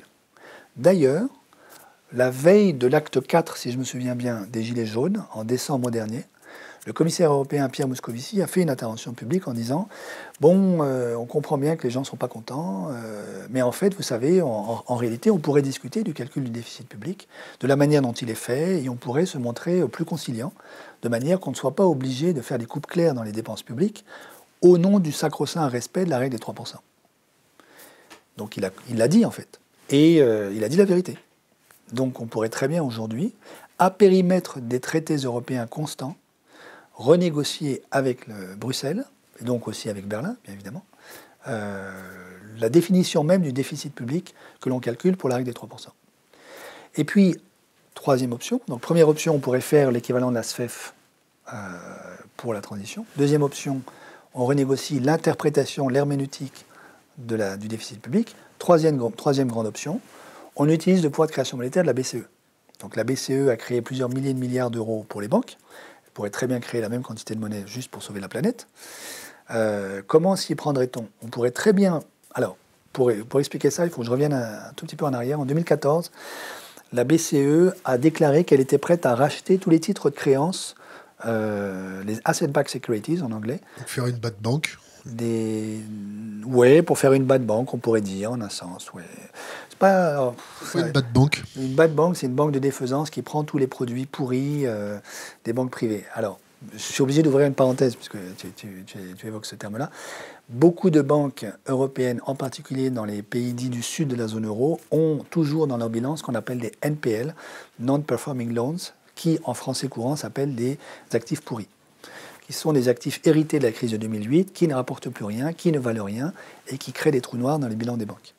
C'est ça qui provoque la très très grande fragilité du secteur bancaire, en particulier de l'Espagne et de l'Italie, et d'une partie du Portugal. Euh, aussi en partie de la France, même si la France euh, euh, d'abord est quand même moins mal en point et ensuite ne le dit pas trop fort. Bon. une banque de défaisance, une bad bank, c'est une banque qui récupère tous ses actifs pourris et qui se fait fort de les revendre dans un avenir illimité euh, et qui débarrasse la banque privée de la gestion de ses actifs pourris. Euh, là, ce à quoi je pense, ce n'est pas exactement ça, parce que j'espère bien que les crédits verts qui seraient émis par les banques privées ne seraient pas les actifs pourris. Donc l'idée est voisine, mais un tout petit peu différente. L'idée, c'est de dire la BCE fait de la titrisation pour les banques. Donc en 2014, la BCE s'est engagée à racheter les titres de créance des banques, euh, de quelque nature qu'ils soient. Qu'est-ce que ça veut dire? C'est-à-dire qu'une banque privée accorde un crédit et elle se débarrasse du risque de non-remboursement du crédit qu'elle porte dans son bilan en transformant cette créance en un actif financier qu'elle va échanger sur les marchés. Pour ça, elle a besoin d'un acheteur qui lui achète son actif. la BCE a donné le signal en 2014, faites du crédit, on vous rachètera le titre de créance. Plus ou moins à n'importe quelle condition. Euh, et à ce moment-là, moi j'ai eu une discussion avec François Hollande où j'ai dit mais Monsieur le Président, il ne faut surtout pas faire ça. Ça c'est refaire de la titrisation qui nous a envoyé dans le mur en 2008, parce que la grande crise de subprime était essentiellement un problème lié à une titrisation tous azimuts qui a fait n'importe quoi, euh, des châteaux en Espagne, euh, des villages fantômes, etc. donc il faut faire de la titrisation verte. Il faudrait que la BCE s'engage à racheter des titres de créance sur des investissements verts. François Hollande, à ce moment-là, m'a dit excellente idée, euh, allez dire ça à notre ami Benoît Curé, qui est au, bord de la BCE, qui est un Français que je connais bien, qui est un ami, un type remarquable. Euh, voilà. Et puis, euh, la difficulté, c'est que en faisant ça, on se heurte à une idéologie très très forte aujourd'hui, qui est la politique monétaire, c'est une politique universelle, tous azimuts, qui ne privilégie aucun secteur particulier, alors que le vert, ça serait un secteur particulier.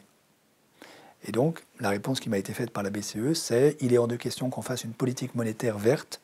Pourquoi? Parce que ce serait privilégier un secteur par rapport à un autre et donc rompre les sacro-saints, de la les sacro-saints principes de la concurrence pure et parfaite.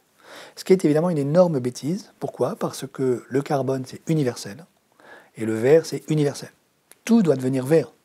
Puisque si on veut avoir des chances de rester pas trop loin des plus de degrés à la fin du siècle, il faut qu'on ait, euh, disons, euh, la neutralité carbone nette peu de temps, aussi peu de temps que possible après 2050. Ça veut dire qu'après 2050, il faut qu'on émette plus du tout de CO2, ou bien que les émissions résiduelles de CO2 qui seront encore euh, produites à ce moment-là soient entièrement captées, capturées et stockées. Je te coupe un peu.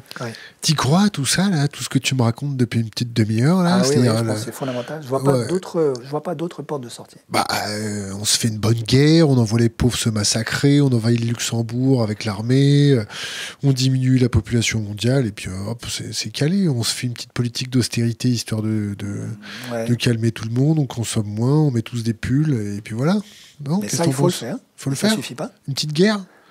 Une petite guerre, on en aura. Il y en a déjà. Il faut regarder ce qui se passe en Syrie, euh, l'effondrement du Venezuela.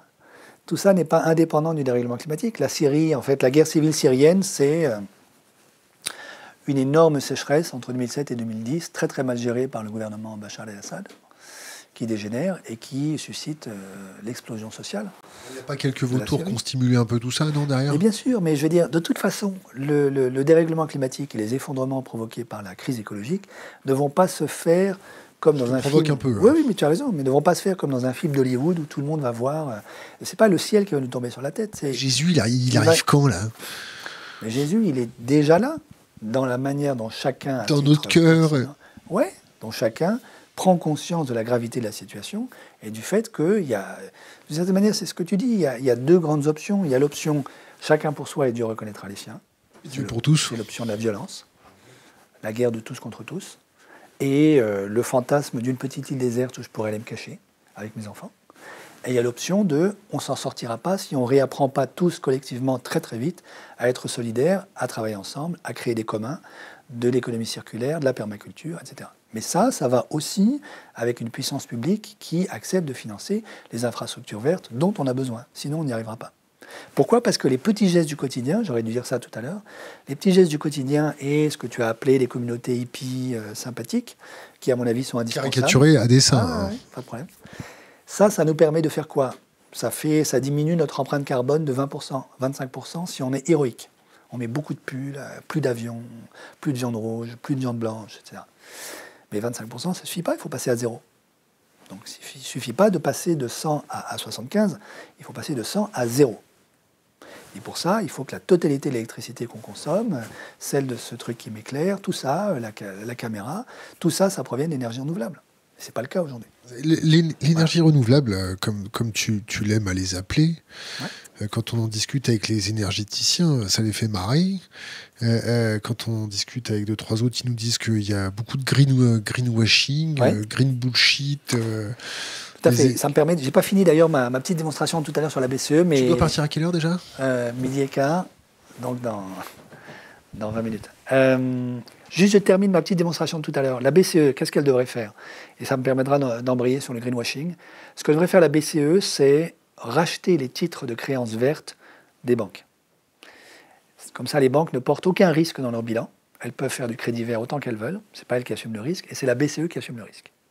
Évidemment, si la BCE fait des pertes, normalement, d'après les règles de l'euro, elle doit être recapitalisée par les pays de la zone euro au prorata de leur propre PIB. Bon, et c'est évidemment ça aussi qu'il faut renégocier. Je veux dire, il faut accepter de ne pas recapitaliser la BCE. Enfin bon. Euh, mais oui, si elle fait des pertes, elle fait des pertes et elle crée de la monnaie. Voilà, c'est des pertes qu'il faut assumer parce que c'est des pertes nécessaires pour que nous apprenions la transition écologique. Alors, après se pose la question de quels sont les investissements verts qu'il faudrait qu'elle finance. Est-ce qu'elle rachète n'importe quel type de créance La réponse est évidemment non, parce que malheureusement, notre imagination est sans limite pour faire du greenwashing, ce qui est le, thème que tu abordes. Euh, aujourd'hui, par exemple, je crois malheureusement que la totalité des investissements qui sont financés par ce qu'on appelle les green bonds, les obligations vertes, sont du greenwashing. Pourquoi? Parce qu'on observe sur les marchés qu'il n'y a aucune différence de rendement entre une obligation verte et une obligation brune. Donc si le marché financier price exactement de la même manière ces deux types d'obligations, ça veut dire qu'il sait parfaitement qu'il n'y a aucune différence dans l'investissement sous-jacent à ces deux obligations. D'où viennent ces obligations vertes? Malheureusement, probablement, de la volonté d'un certain nombre de financiers, après 2009, de faire croire à l'opinion publique que enfin la finance s'est mise au vert, est devenue vertueuse et sert à quelque chose. Euh, malheureusement, ce n'est pas le cas. Les obligations vertes sont une immense opération de greenwashing. Donc évidemment, il y a un vrai enjeu qui est déterminer, identifier, discerner quels sont les vrais investissements verts. Or, pour ça, on a un atout en Europe qui est la Banque européenne d'investissement, qui est une banque qui sait, qui a une vraie expertise dans, les investissements verts, qui est unanimement reconnue. Et donc, on pourrait très bien imaginer un dispositif dans lequel la BEI finance avec le secteur privé et les États les investissements verts dont nous avons besoin. Elle donne son label, ce qui est une garantie du fait qu'on ne fait pas du greenwashing. Et la BCE s'engage à racheter les titres de créance de la BEI de manière qu'elle puisse le faire à très très grande échelle. Ce dont on a besoin, c'est plusieurs milliers de milliards d'euros tous les ans au niveau de la zone euro. Euh, c'est des sommes colossales. Mais à moins de ça, on n'y arrivera pas. Je ne vois pas comment on passe d'un monde aujourd'hui où 80% de l'énergie que nous dissipons, c'est de l'énergie fossile, hydrocarbures, euh, d'un monde où la consommation du charbon augmente sur cette planète, à un monde qui viserait la neutralité carbone euh, en 2060 euh, question d'Internet. L'Assemblée nationale qui vote la privation d'ADP à Aéroport de Paris à 6h15, vous en pensez quoi? C'est un bon truc? Parce que dans certaines conférences, vous dites qu'il bah, n'y aura plus d'avion, qu'on va plus prendre l'avion, que voilà. Donc c'est peut-être une super opération du gouvernement Macron, en fait, non? Alors, je ne dis pas qu'il n'y aura plus d'avions, j'ai dit qu'il faut euh, qu'on prenne beaucoup, beaucoup moins l'avion et qu'on euh, on réserve l'avion aux opérations ultra urgentes et nécessaires, impératives. On prévoit le trafic aérien qui double. Oui, oui, ça c'est une énorme bêtise. Donc ça c'est un premier aspect. Euh, c'est sûr que relever le défi écologique passe par renoncer à prendre l'avion, sinon pour des cas d'extrême urgence nécessaire, etc. Deuxièmement, il y a un deuxième sujet qui est la privatisation de l'aéroport de Paris. C'est un sujet extrêmement débattu aujourd'hui, y compris dans la classe politique. Euh, il y a une espèce de consensus à droite et à gauche pour critiquer cette décision. De mon point de vue, elle participe d'une euh, optique globale qui est la privatisation du monde. Et ça, c'est une des racines du problème auquel nous sommes confrontés aujourd'hui. C'est-à-dire croire que la propriété privée, qui est une invention tout à fait récente en fait. Hein. Surtout la propriété privée au sens où nous l'entendons aujourd'hui, serait l'alpha et l'oméga des relations sociales et notre rapport au monde. En fait, c'est faux. Euh, cette idée, cette conception contemporaine de la propriété privée, elle s'origine autour du XVIIe siècle anglais, notamment chez des gens comme Hobbes et Locke, euh, qui en font, disons, l'attribut de la souveraineté absolue chez Hobbes du despote, dans un monde totalitaire, le Léviathan, chez Locke du propriétaire bourgeois privé. Euh, les révolutionnaires français, dans le Code civil, et puis les, donc les juristes napoléoniens, ont hérité de cette compréhension-là de la propriété privée, en ont fait un droit sacré et inviolable, mais ont laissé ouverte la porte euh, à une propriété partagée, à des communs, et surtout ont une conception non absolutiste de la propriété privée, qui peut toujours, y compris dans le droit civiliste français, être euh, démantelé dans les trois piliers de la propriété privée, à savoir le ZUS, le fructus et la busus, qui sont les trois composantes du, droit de propriété euh, construites par les théologiens médiévaux après la réforme grégorienne du XIe siècle. Ce qui s'est passé, c'est qu'au XIe siècle, les, juristes et les théologiens médiévaux ont redécouvert euh, le codex de Justinien, donc en fait le droit romain, euh, l'ont réécrit, adapté, interprété, théologisé, bon, et ont hérité du coup de la propriété privée romaine. et lui ont donné trois composantes, le droit d'usage, le droit de détruire, à la et le droit de revendre, de, faire fructifier fructus. Aujourd'hui, je pense que ce qu'il faut que nous apprenions à faire, c'est à désarticuler ces trois composantes et à donner la prééminence absolue au droit d'usage, à l'usus, sans détruire et euh, sans vouloir vendre la planète, qu'on n'a pas d'acheteur pour cette planète. Voilà. Votre question Internet, peut-on craindre une hausse des taux directeurs? Si possible, expliquer, si possible, expliquer ce qu'est ce un taux directeur. Donc la Banque centrale, en fait, euh, elle prête aux banques de second rang, aux banques privées, sur le marché interbancaire. Euh, à chaque fois qu'une banque privée accorde un crédit, justement les règles prudentielles de BAL 3 dont je parlais tout à l'heure, l'obligent à avoir un petit peu de fonds propres correspondant au crédit supplémentaire qu'elle vient d'accorder. Euh, si, elle, bon, et voilà, si elle manque de ces fonds propres, euh, et surtout si elle manque de monnaie banque centrale. Donc il lui faut aussi, d'après ces règles prudentielles, disposer d'un peu de monnaie banque centrale. C'est la monnaie qui est créée par la banque centrale. Alors elle doit se refinancer en monnaie banque centrale. La monnaie banque centrale, c'est la monnaie que vous et moi, n'avons jamais vue, sauf si vous avez été banquier. Euh, parce que c'est la monnaie qui ne circule que dans le marché interbancaire, entre la banque centrale et les banques. La monnaie qui est euh, sur, votre, sur ton compte en banque ou dans le portefeuille, ça c'est de la monnaie, disons, qui est émise par les banques de second rang. C'est la monnaie de tous les jours. La monnaie banque centrale, monnaie, c'est pas la monnaie de tous les jours. C'est une monnaie qui est une monnaie miroir des transactions monétaires que nous avons dans la vie réelle. Les banques, à chaque fois qu'elles font des transactions dans la vie réelle, doivent faire des transactions miroirs, en reflet entre elles, en monnaie banque centrale. Donc, par exemple, lorsque moi j'achète un appartement, avec, euh, admettons que je t'achète un appartement, en fait, je vais demander à ma banque de créditer ton compte de dépôt de l'argent que je te paye. Ton compte de dépôt, il est dans une autre banque. Donc ma banque à moi, admettons que sur la banque A, doit créditer ton compte de dépôt dans la banque B de la somme que je paye pour euh, acheter ton appartement. En fait, elle a 15 jours, ma banque, pour euh, normaliser sa situation vis-à-vis de ta banque, de la banque B. Simplement, pendant ces 15 jours, il est très probable que la banque B elle-même fasse des opérations dans l'autre sens avec d'autres clients de la banque A, pas forcément moi, mais quelqu'un d'autre. Donc plutôt que de tout faire à chaque fois, en reflet, en miroir, de toutes les transactions qu'il y a dans l'économie réelle, ce qui serait monstrueux, tous les 15 jours, en gros, les banques, entre elles, appuient leur position. C'est-à-dire qu'elles font le net uniquement. Admettons que ma banque A, euh, pour ton appartement, doive 100 à, ta banque, à la banque B, mais dans le même temps, la banque B doit 75 à ma banque A, à moi. Donc, dans 15 jours, ce que va faire la banque A, c'est juste donner 25 à la banque B. Cette euh, transaction-là, elle s'opère en monnaie banque centrale, pas en monnaie de tous les jours. Cette monnaie banque centrale, euh, si elle n'en a pas assez, elle est obligée de l'emprunter soit auprès des autres banques, soit auprès de la Banque centrale. À quel taux Essentiellement, pour aller vite, au taux directeur fixé par la Banque centrale. Donc la Banque centrale, avec ce taux directeur, elle contrôle en fait l'aptitude des banques privées à, euh, accorder du crédit. Hein. Euh, quand elle augmente le taux directeur, ça rend les crédits plus coûteux pour les banques privées, puisque ça rend plus coûteux pour elles le fait de se refinancer en monnaie banque centrale. Quand elle baisse ce taux, ça rend le crédit moins coûteux la Fed aux États-Unis est en train aujourd'hui d'essayer de sortir des politiques monétaires non conventionnelles qu'elle a mises en œuvre pendant des années, en augmentant son taux progressivement. Euh, la BCE, pour l'instant, ne le fait pas. Et je ne crois pas du tout qu'elle puisse le faire dans les mois qui viennent, à cause justement de la fragilité bilancielle de toute une série de banques dans la zone euro. la déflation, c'est bien. Hein. le japonais, euh, il a connu ça, il ne sait pas comment en sortir. Euh. On va expérimenter ça en Europe, ça va être bien. Alors, autre question Internet. Que pensez-vous des mouvements de désobéissance civile, vous qui avez fait vœu d'obéissance? Alors, euh, donc moi j'ai fait vœu d'obéissance auprès de mes autorités religieuses. Personne n'est euh, parfait. Hein. Euh, alors je cumule, je cumule, tu vas me dire, parce que je suis religieux, puis je suis aussi fonctionnaire, haut fonctionnaire, donc j'ai un devoir de réserve vis-à-vis de l'État, etc. Macron c'est ton copain? C'est mon président, c'est le président de la République. Donc tu peux rien dire? Donc euh, j'ai un devoir de réserve vis-à-vis du président, ce qui est normal.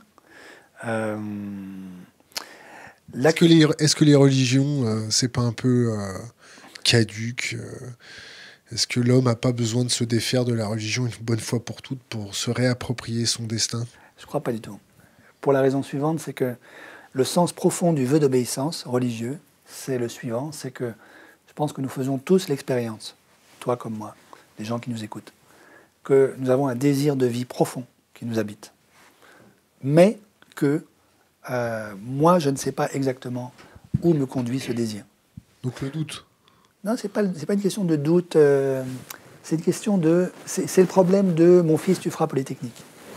Le père qui dit ça à son fils euh, est un salaud. Parce qu'il ne sait pas si son fils sera heureux, si Félix. Peut-être qu'il sera très malheureux. Peut-être qu'il a envie de faire les beaux-arts. Ça, c'est le désir de vie profond du fiston. Ou de la fille, peu importe. Et donc, lui-même non plus ne sait pas. À 15 ans, il ne sait pas s'il sera heureux d'aller à l'X ou d'aller faire les beaux-arts, en gros. À part de rares exceptions d'adolescents très très mûrs. Donc, j'ai besoin de découvrir où me conduit mon désir profond. Le vœu d'obéissance religieuse, c'est je crois que d'obéir à mon désir de vie profond, c'est ça qui me rend heureux. Donc ce n'est pas une espèce d'aliénation à une hétéronomie fondamentale qui serait, euh, je sais pas quoi, une espèce de QG de religieux qui contrôlerait le monde quelque part au Vatican. C'est je fais l'expérience que je ne suis pas transparent à moi-même, qu'il y a un fantasme de transparence dont il, faut, euh, dont il faut faire le deuil, et que je souhaite être obéissant au désir de vie qui est en moi pour être heureux. Qu'est-ce que ça veut dire être obéissant au désir de vie qui est en moi? Comme je fais l'expérience que je ne suis pas transparent, ça passe par d'autres j'ai besoin de la médiation d'autrui pour apprendre petit à petit où me conduit mon désir. La psychanalyse, dans son domaine à elle, ne fait pas autre chose. Le gars qui fait une analyse, il va voir un psychanalyste et il lui parle pour que ce psychanalyste soit un tiers qui l'aide, lui, le gars qui fait l'analyse, à petit à petit entendre et comprendre et euh, voir où le, le conduit son désir profond. Tu connais Krishnamurti? Krishnamurti. Non. Regarde euh, sa, conférence de 1985 à l'ONU. D'accord. Autre question d'Internet. Euh, oui. Que diriez-vous aux catholiques qui travaillent dans les banques d'affaires? Eh bien, je leur dirais qu'il faut qu'ils lisent la déclaration d'octobre 2011 du Conseil pontifical de justice et paix et qu'ils se posent des questions sur euh, leur compromission dans ce qu'on appelle, entre catholiques, des structures de péché. Donc je connais des cathos euh, financiers qui ont démissionné de leur poste euh, une fois qu'ils ont pris conscience du fait qu'ils étaient complices d'un système qui n'est pas socialement utile. Il ne faut pas leur dire de démissionner, il faut leur dire de rester, de faire les taupes, de miner le système de l'intérieur. Et voilà. Va leur dire. Le point, c'est euh, jusqu'où j'ai une vraie liberté de manœuvre, qu'est-ce que je peux changer dans le système? Voilà. C'est compliqué. Euh, il y a de tout. Donc j'ai des discussions passionnantes avec des financiers qui sont pris là-dedans, qui se disent exactement ce que tu dis, c'est-à-dire euh, est-ce que je ferais mieux de rester pour euh, continuer de mettre un peu d'humanité dans toute cette affaire, limiter la casse et être là, un peu d'éthique, voilà. Ou est-ce qu'il vaut mieux que je quitte parce que là, je suis trop compromis dans ce à quoi je participe? Ça, c'est un discernement qu'on ne peut pas faire à leur place, qui est compliqué, qu'il faut, qui demande beaucoup de maturité, voilà que je peux, auquel, sur lequel, évidemment, je ne peux absolument pas me substituer à la personne en question, au contraire. Trois bouquins à conseiller à notre communauté. Trois bouquins à lire. Euh, donc le manifeste de Delphine Bateau, Écologie intégrale, qui vient de sortir. Euh, mon petit livre Illusion financière, où on retrouve une bonne partie de tout ce qu'on s'est dit là depuis deux heures. Et puis un troisième, euh, bah quand même, l'encyclique Laudato aussi. Je suis sûr qu'il y a une bonne partie de ceux qui nous écoutent qui l'ont pas lu. Est-ce que tu as un conseil pour les jeunes générations Une bouteille à la mer, quelque chose d'impérissable c'est, On finit toujours notre, euh, notre émission comme ça? Oui, j'ai un conseil à leur donner qui est... Euh, moi, ma perception, c'est que la, jeune génération est, disons, est tentée par, d'un côté, une espèce de désespoir profond face à la gravité de la situation. De l'autre, euh, l'envie de faire un procès définitif à la génération du dessus sur le thème, voilà, sur le thème, vous nous laissez une planète inhabitable, criblée de dettes, où on n'aura pas de travail, Enfin, c'est la, la, génération ninja, quoi. No income, no job, no asset. Euh, je comprends très bien cette colère-là, et elle me semble en grande partie justifiée. Il reste que euh, cette jeune génération ne pourra pas tout faire toute seule. Elle a besoin absolument de trouver des alliés dans la génération du dessus. Alors évidemment, quand j'ai dit ça, j'apparais comme me mettant moi-même comme candidat pour être un de ses alliés, et c'est vrai.